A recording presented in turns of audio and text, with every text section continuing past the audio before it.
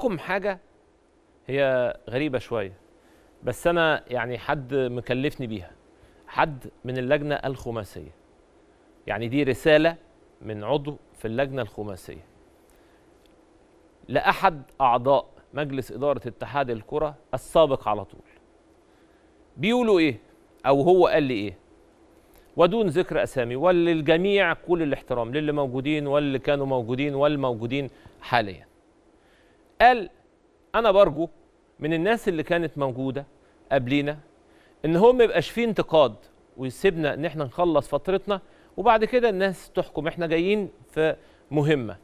لكن أنت النهارده بتنتقدني وبتنتقدني لمصلحة شخصية بتنتقدني لمصلحة شخصية. وأنا في وقت من الأوقات جيت استلمت منك بعض الملفات المهلهلة. أنا بنقل لكم الحديث بالنص عشان بس الناس تبقى عارفة إن أنا يعني إيه ما في الآخر ما بيهمناش. الحديث لو لينا وحد كلفنا بيه بنقوله. استلمنا بعض الملفات المهلهلة. ما طلعناش يوم قلنا إحنا جينا ما لقاش ملفات.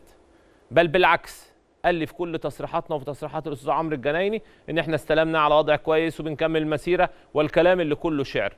فأرجو إن أي مسؤول سابق في اتحاد الكرة يا فندم لو في حاجة تعالى كلمني. هتنتقدني عبر الشاشات وهتنتقدني قدام الناس. هضطر في وقت من الأوقات أفقد أعصابي أرد عليك. الشكل كله هيبقى وحش. لأن في الآخر أنا اجتهدت وعملت أخطأت أو أصبت فده من الطبيعي. أنت برضو كان عندك أخطائك. هتقعد تكلمني هقعد أطلع لك القديم. شكلنا هيبقى أصلا وحش. خلينا نحترم بعض وخلينا يبقى في روح جيدة ما بيننا. دي رسالة عضو من اللجنه الخماسية لعضو مجلس إدارة في الاتحاد السابق. ورسالة أخرى للمرشحين الحاليين. قالوا أي مرشح التزم الصمت وقدم ورقك وخش الانتخابات وانجح إحنا هنسلمك ونمشي ومش راجعين تاني. أنت حضرتك النهارده تنتقدنا لهدف شخصي.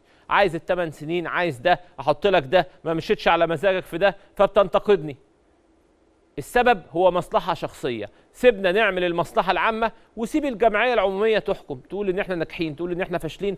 هم ساعتها أصحاب القرار. الحقيقة ال- النقطتين مقنعين. مقنعين لأي مسؤول سابق سيب الناس تشتغل. حضرتك في يوم من الأيام كنت في نفس المكان أخطأت أحيانا وأصبت أحيانا. حت النهارده هتتهم الناس الناس هترد عليك هيبقى تراشق هتسيء في الآخر للمكان وللمبنى اللي في الآخر الناس كلها بتنتمي ليه. دي رسالة في منتهى الاحترام. نقلتها زي ما الكتاب بيقول زي ما اتشرحت